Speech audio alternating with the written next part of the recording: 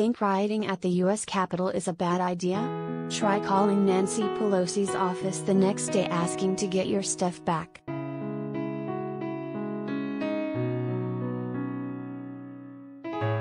According to Representative Jamie Raskin, DMD, many people who participated in the January 6, 2021, insurrection called the House Speaker's office the next day asking about a lost and found.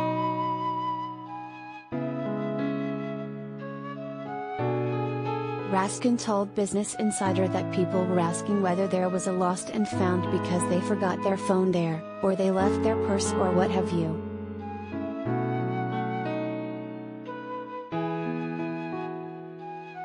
The staffers answering the calls handed them off to the police, the lawmaker said, who then asked for their names, addresses and other details so they could, in Raskin's words, tie up those loose ends.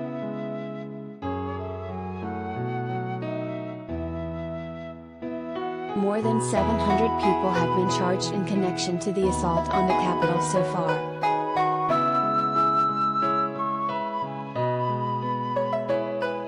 It might seem shocking that people who stormed the Capitol one day would have no qualms about calling the next day in search of their lost items, but Raskin said that points to former President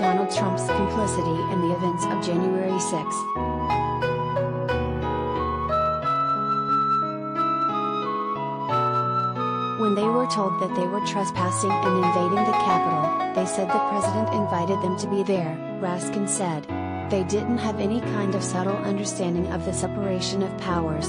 They just thought that the number one person in the US government had invited them to be there, and therefore they had a right.